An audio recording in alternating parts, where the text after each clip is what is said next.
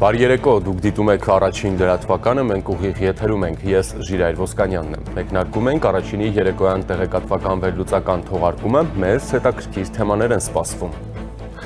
Եվ այսպես Հունգարիան արգելափակում է Եվրամիության խաղաղության հիմնադրամից Հայաստանին աջակցություն տրամադրելու նախագիծը, որի շուրջ դաշինքում նախնական համաձայնություններ ձեռք բերվել։ Ինչպես հաղորդում են ազատության դիվանագիտական աղբյուրները, Հունգարիան պահանջում է, որ Ադրբեջանը եւս ներառվի ծրագրում, ինչը ըստ նույն աղբյուրի դրված է քննարկման սեղանին փակուղուց դուրս գալու համար։ Շաբաթներ առաջ հայտնի էր դարձել, որ Բրյուսելում նախնական համաձայնություն է ձեռք բերվել Եվրամիության խաղաղության հիմնադրամից Հայաստանին օգնություն տրամադրելու ստեղծելու շուրջ։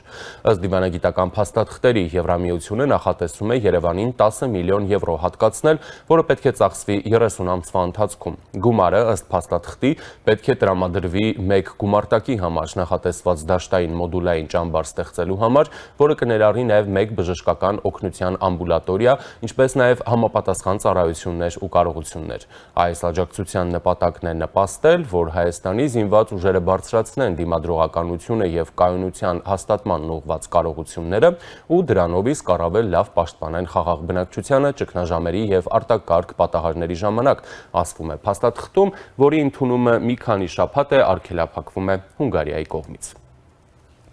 Հայաստանը եւ Հունգարիան վերականգնել էին դիվանագիտական հարաբերությունները 2022 թվականի դեկտեմբերին։ Հայաստանը Հունգարիայի հետ դիվանագիտական հարաբերությունները սառեցրել էր 2012 թվականին, երբ այդ երկիրը Ադրբեջանին արտահանձնեց 2004-ին Հունգարիայում հայ լեյտենանտ Գուրգեն Մարկարյանի դաժան սպանության համար դատապարտված Ռամիլ Սաֆարովին, որն Ադրբեջան վերադառնալուց անմիջապես հետո հայտնվեց ազատության մեջ ու պետական պարգևների արժանացավ։ Գրեթե 1 տասնամյակ անց Հայաստանը Հայաստանի իշխանությունները որոշեցին հալեցնել սառույցը, միգուցե ենթադրելով, որ Հունգարիան կարող է օգտակար լինել Եվրամիության հետ հարաբերություններում։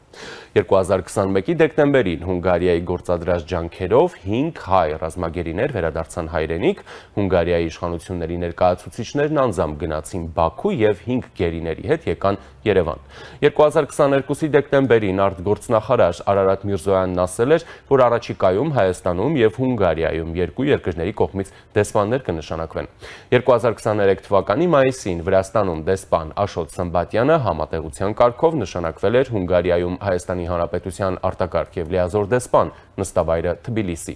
Նույն մայիսին Նիկոլ Փաշինյանն ընդունել էր Հունգարիայի փոխվարչապետ Ժոլտ Շեյմեին, հույս հայտնել, որ հնարավորինս կարճ ժամանակահատվածում Հայաստանը եւ Հունգարիան կկարողանան բաց թողնվածը լրացնել։ Ժոլտ Շեյմենն իր հերթին տեղեկացրել էր, որ Հունգարիայի կառավարությունը հայ ուսանողների համար նախաձեռնել է կրթաթոշակի ծրագիր։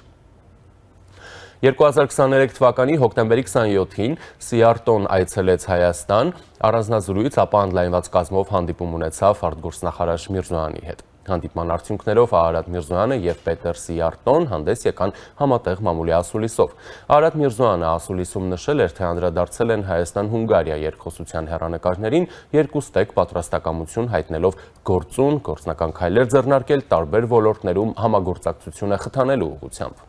Պետր Սիարտոն էլ նշել էր, թե հարաբերություններում կարևոր մի գործոն կա, երկու երկրներն էլ քրիստոնեական են մենք այնպեսի մի համագործակցություն, որը կծառայի երկու ազգերի եւ երկրների շահերին։ Այս օրինակ վերականգնումը մեզ լավ կոժանդակի,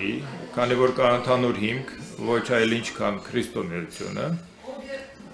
երկու երկրներն էլ հանդիսանում են արդեն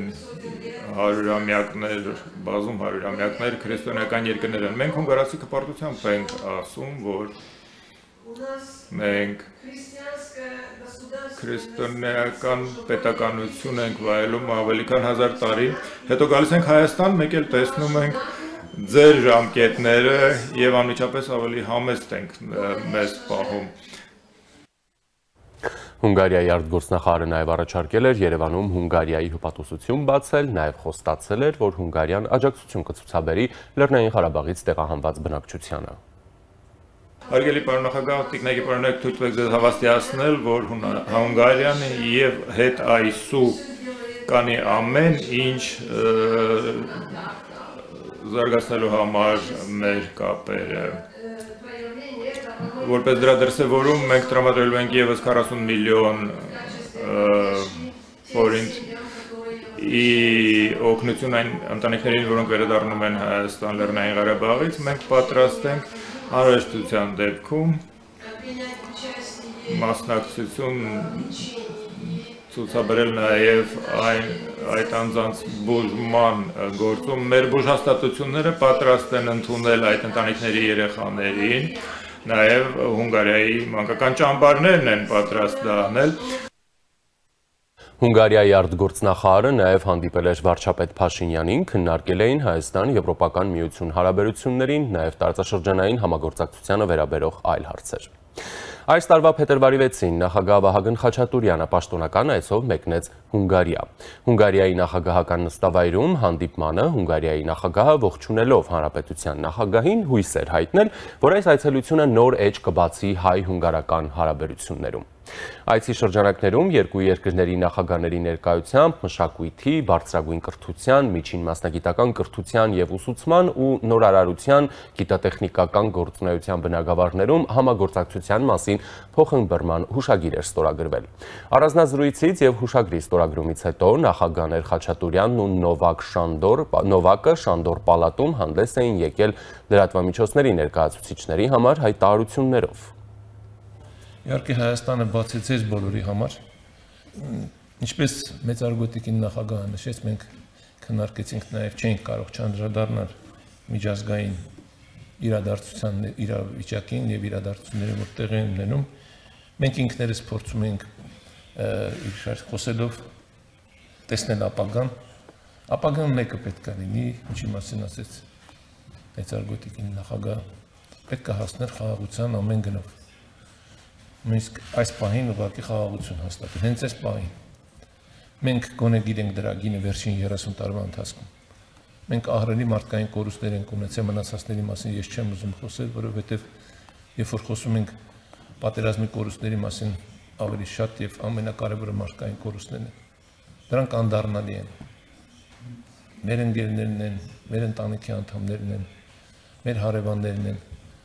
Հիմա այս իրավիճակում ենք մենք վերջին 30 տարին ապրել։ Մեր սխալն է եղել, որ պատերազմը այդքան երկարատև, ես այդպես եմ գնահատում։ Իշխանությունների, կառավարիչների սխալն է եղել։ Մենք հիմա պետք է չկրկնենք այսօր այդ սխալը, որը վերաբերում է Ուկրաինային, որը վերաբերում է Մերձավոր Արևելքին։ Ես հավատում եմ, որ այդ խաղաղությունը լինելու է։ Ես նաև շատ պարզամիտ մարդ չեմ, որ մտածեմ, որ հենց միայն իմ ցանկությամբ կամ մեր ցանկությամբ դա հնարավոր է բայց ես վստահ եմ, որ նաև մեր ցանկությամբ եւ մեր կարողությունները օգտագործումը մենք կարող ենք որոշումների մեջ որոշակի ազդեցություն ունենալ, շատ փոքր, բայց կարող է այդ որոշակի փոքր ազդեցություններ իր դերը ունենալ։ Հանդիպումից 4 օր անց Նովակը հրաժարական տվեց պաշտոնից պատճառը մանկատանը սեռական բռնությունների գործով դատապարտյալի ներում շնորելու որոշումներ։ Թերևս հունգարական իշխանությունները առանձնակի ներողամիտ վերաբերմունք ունեն վերջացած հանցագործների նկատմամբ։ Նախագահ Խաչատուրյանը Բուդապեշտում նաև հանդիպել էր տեղի հայկական համայնքի ներկայացուցիչների հետ, ապա հանդիպել Հունգարիայի վարչապետ Վիկտոր Օրբանին։ Կողմերը քննարկել էին Հայաստանի եւ Հունգարիայի միջև ոլորտային փոխգործակցության խթանման եւ արկա ներուժի լիարժեք իրականացման հարցեր։ Հայաստանի եւ Հունգարիայի հարաբերությունների վերականգնումից 2.5 տարի անց փաստ է, որ Հայաստանը սալ հաշվարկ է արել հուսալով, որ Պուտինի եւ Ալիևի մտերիմ ընկեր Մարթասպան Սաֆարովին ազատ արձակելու հարցում գլխավոր որոշող Վիկտոր Օրբանի պաշտոնավարման ընթացքում հնարավոր է համագործակցություն այդ երկրի հետ։ Իսկ Հունգարիան քրիստոնեական եւ ժողովրդավարական արժեքներից առավել հետաքրքրված է կանխիկ գումարով ու էներգակիրներով։